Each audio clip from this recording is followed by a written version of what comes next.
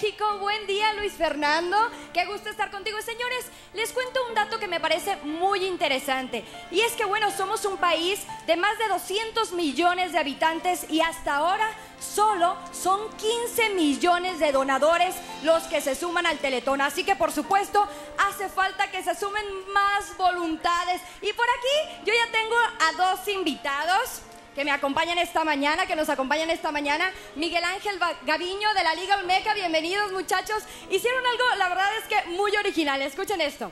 La Liga Olmeca hizo sus alcancías en forma de pelotas de béisbol para recolectar dinero, que bueno, posteriormente cuando inauguraron la temporada, ahí es donde juntaron la lanita. Y también nos acompaña, aquí les cuento, que está Juan Pareja Jiménez, que junto con su amigo Juan vendieron paletas, señores, y así es como recolectaron dinero. ¿Qué te parece?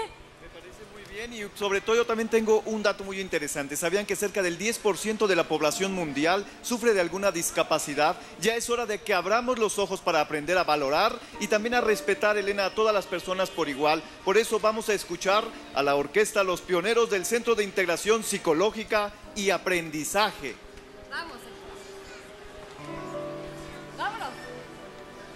De nuevo, señores, muy buen día a todos. Y muy buen día, mi compañero y amigo Gerardo Aliceaga, buen día. Y bueno, yo creo que ya es hora, ¿no?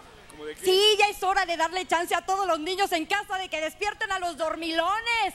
Papás, arriba, porque en muy poquito tiempo ya abren las sucursales de Banamex. Y les voy a dar los números para donar con cargo a su recibo Telmex. Ahí va.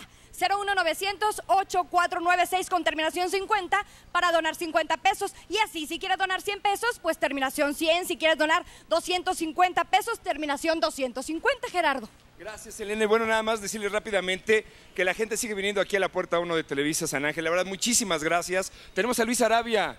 Luis, vienes a donar y le estás inculcando a tus sobrinos el efecto del Teletón, un pesito más todos los años. Así es, para que cada año se cumpla la meta del Teletón, un peso por lo menos más. Gracias Luis, muchas gracias. Y tenemos aquí a José Antonio Acosta, viene de, de, Jalapa, él es de Jalapa, vino directamente de Jalapa, acaba de terminar su escuela.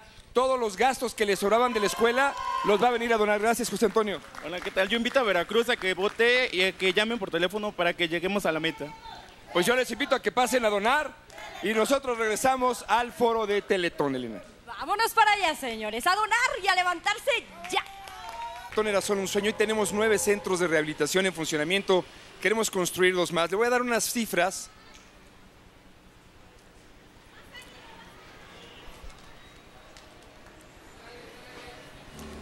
Gracias, estamos nuevamente en la puerta número uno de Televisa San Ángel.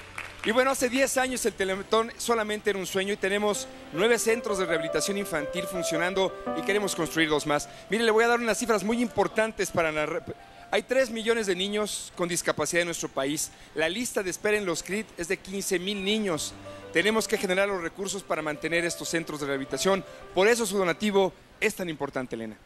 Por supuesto, es muy importante y es por eso que esta mañana nos acompaña Laura Ríos, que junto con su familia, muy buen día señores, pues se pusieron a juntar dinerito para recaudar fondos para el Teletón. Así que adelante y gracias Laura, pueden pasar aquí a Banamex. Y también está aquí con nosotros, muy buen día, Nancy Gutiérrez Chávez, que viene junto con Valeria, que trae un mensaje, ¿verdad Valeria? Dinos.